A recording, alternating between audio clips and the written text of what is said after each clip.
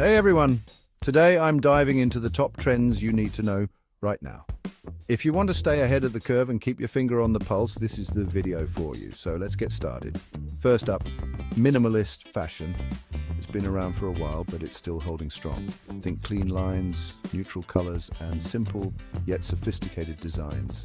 It's about less is more and making a statement with understated elegance. Perfect for those who appreciate quality over quantity. But wait, maximalism is making a comeback. Bold patterns, vibrant colors, and lots of layering are in. It's all about expressing individuality and going big. So if you're tired of minimalism, maximalism might be your next fashion adventure. Next, let's talk sustainable products. Eco-friendly and ethical choices are no longer niche. From bamboo toothbrushes to reusable shopping bags, sustainability is mainstream. People are more conscious than ever about their environmental impact and are making choices that reflect that. It's not just a trend, it's a movement. Now onto virtual experiences. With technology advancing at lightning speed, virtual experiences are more immersive than ever.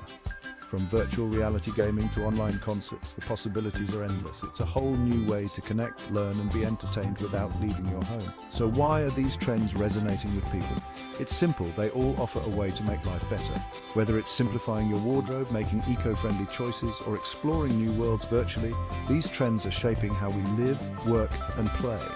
And that's a wrap. If you found this video helpful, give it a thumbs up and don't forget to subscribe for more trending insights. Stay trendy everyone, catch you in the next video.